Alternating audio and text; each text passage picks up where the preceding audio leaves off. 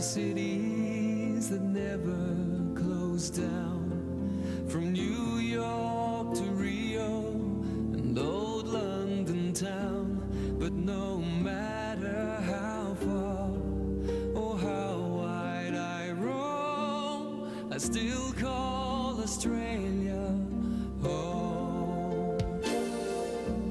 I'm always traveling. So I keep leaving the sun and the sea. But my heart lies waiting over the phone. I still call Australia